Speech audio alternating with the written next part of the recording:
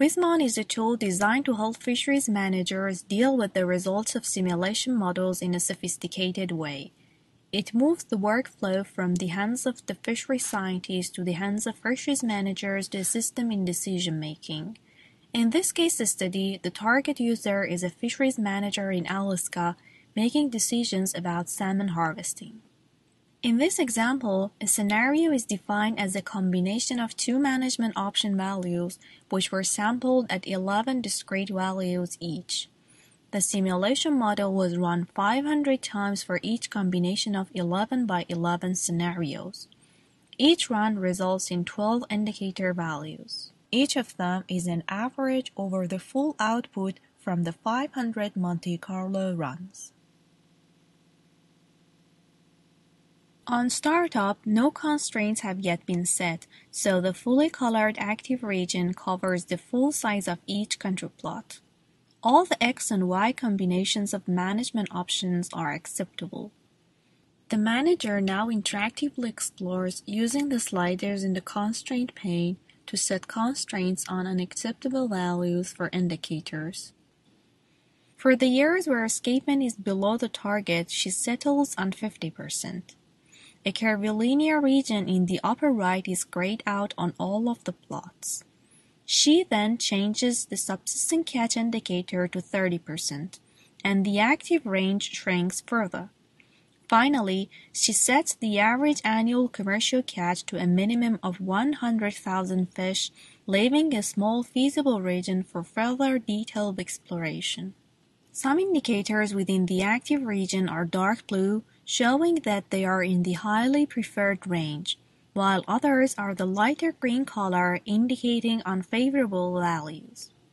After a quick look at the medians and the averages, she decides that the patterns and the contour plots are similar enough that it is safe to ignore the medians and treat the data as symmetrically distributed, so she decides to deactivate those.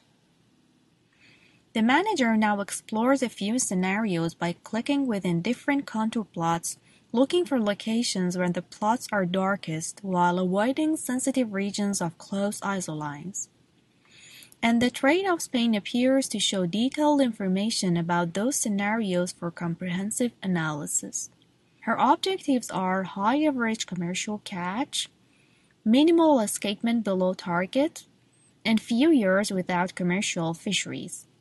To start with a simple analysis, she deactivates the uncertainty by removing the error bars. By just looking at the average value of scenarios, the red scenario looks promising. She then considers uncertainty to make sure that the red scenario is still a good choice. She changes the uncertainty visualization to box plots to see a more complete summary and then to shaded distributions to see the full underlying uncertainty. She maximizes the bottom pane to better look at the shaded distributions for detailed comparison of scenarios. She groups the bars by scenario to compare the scenarios as multi-indicator elements with each other. She verifies that the red one remains as her top choice. She scrolls down to the average commercial catch indicator to see how the scenarios are distributed along the slider. Then sorts the charts in the trade-offs pane by this indicator. She turns on the histograms showing the distribution of Monte Carlo trials for each indicator. And then selects the red scenario to compare its distribution to the full dataset. The histograms are now log-scaled vertically to make the details visible. She inspects the uncertainty associated with each grid point in the contour plots to distinguish between certain and uncertain regions at the summary level. And then digs deeper by turning on the mouse over histograms.